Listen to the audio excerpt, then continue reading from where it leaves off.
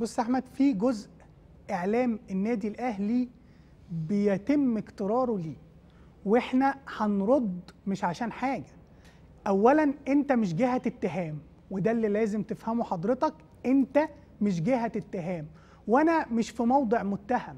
حضرتك ملكش الحقوق دي على النادي الأهلي بأي شكل.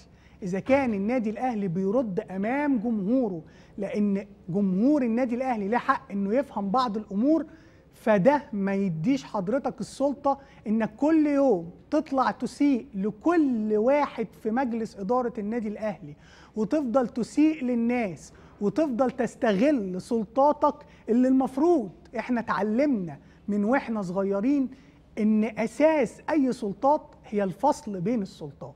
السلطة التشريعية اللي حضرتك جزء منها مختلفة تماما عن السلطة التنفيذية مختلفة تماما عن الجهات المحاسبية والرقابية. حضرتك مش جهة محاسبية عشان تطلع كل يوم أو جهة رقابية تقول لي أنت لازم ترد عليا في كذا. أنت لازم ترد عليا في كذا. وما بين إساءات كتيرة جدا ترجع تطالب النادي الأهلي برد.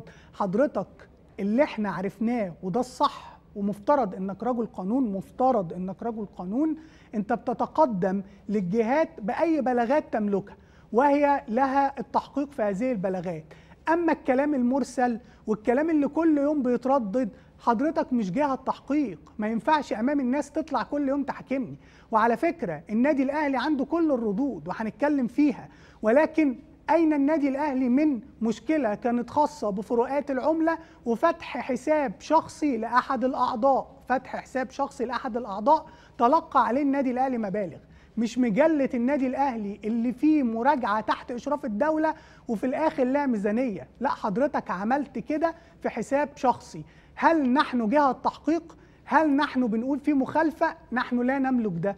وبنقولها لكل الناس نحن لا نملك ده لو عندنا حاجة بنقدمها بلاغ والبلاغ ده بيتم التحقيق فيه.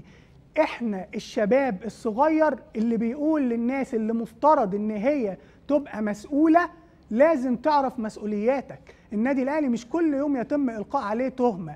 أبسط حاجة فلان أخد فلوس مشي بيها. حضرتك في جهة رقابية. إزاي أنا أطلع كل يوم أقول كلام لا أساس له من الصحة ونبدأ نرد بكلام مرسل ونقدر نقول أي حاجة. نقدر نقول فلان خد وفلان خد وفلان خد.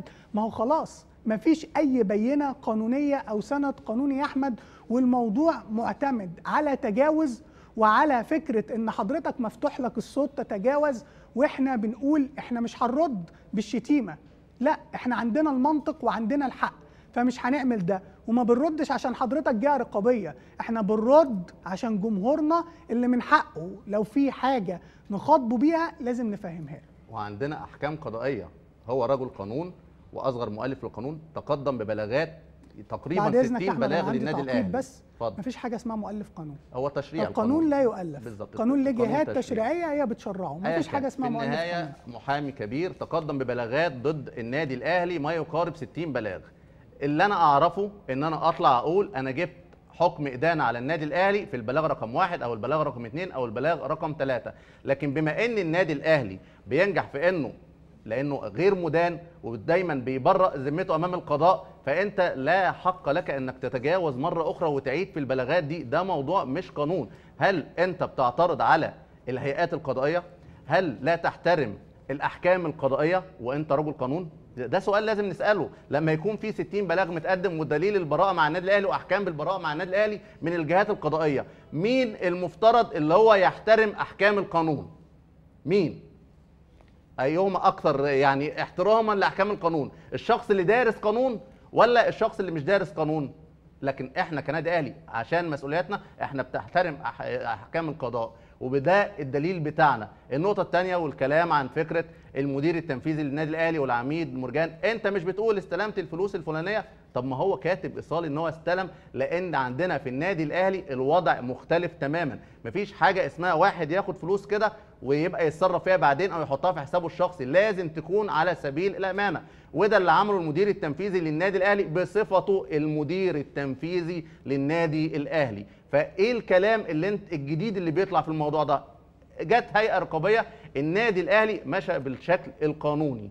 في مايو وفارس 27 مايو 2018 النادي الأهلي بنفسه اللي طلب لجنة مالية تيجي تفتش على تبرعات السيد تركي آل الشيخ بعد الأحداث اللي حصلت.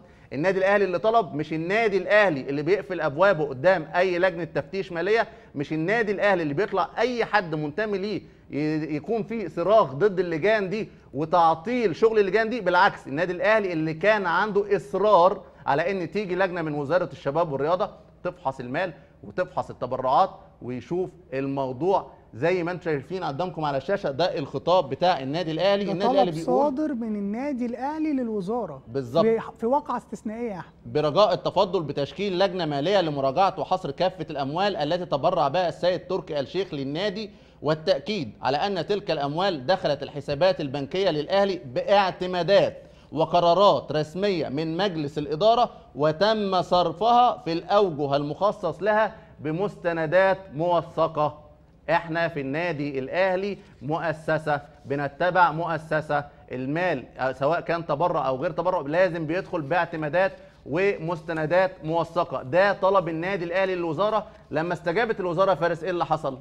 اللي حصل بقى أحمد إن الوزارة هي اللي ادتك صك البراءة. الوزارة قالت إيه؟ الوزارة شكلت لجنة من الوزارة أثبتت أن التبرعات التي تلقاها الأهلي هي 119 مليون جنيه مع أن الأهلي قام بمخاطبة الجهة الإدارية بعد 8 شهور إلا أن المخالفة لا تستوجب المساءلة الم- القانونية لأن الموافقة السابقة مثل اللاحقة. طالما أنت رحت للجهات الإدارية وقلت له اعتمد لي ده ده ما فيهوش أي مخالفة. وتم اتخاذ كافة ده, ده في الورق المثبت اللي طالع من الوزارة. تم اتخاذ كافة الإجراءات المالية والمحاسبية بشكل سليم. هنا هنشوف في الصور كمان لما نيجي الخطابات الموقعة من الوزارة ووكيل الوزارة التاريخ 5 9 عايزين نشوف يا أحمد إزاي واضح جدا إن النادي الأهلي أخذ إجراءات مختلفة عن توجه وتفكير أي نادي آخر. أنا في قضية مثارة بروح أقول للوزارة شكل لجنة ده ما حدش يعمله إلا لو دفاتره المحاسبية هو متأكد تماما إن ما فيهاش شبهة المخالفة. بالتالي طبيعي بتطلع ملاحظاتها الوزارة ما كانش فيه أي ملاحظات تستدعي تحويلها لاتهام. وهو ده النادي الأهلي. حضرتك أنا كمواطن مصري آخد كلامي من مين؟ الجهات الرقابية اللي حضرتك طعنت فيها امبارح انت طعنت في الجهات الرقابية دي امبارح وفضل يقول أصل أنا ما أعرفش النيابة طلعت لهم كذا الوزارة قالت لهم كذا لا بس ده في عهد الوزير السابق.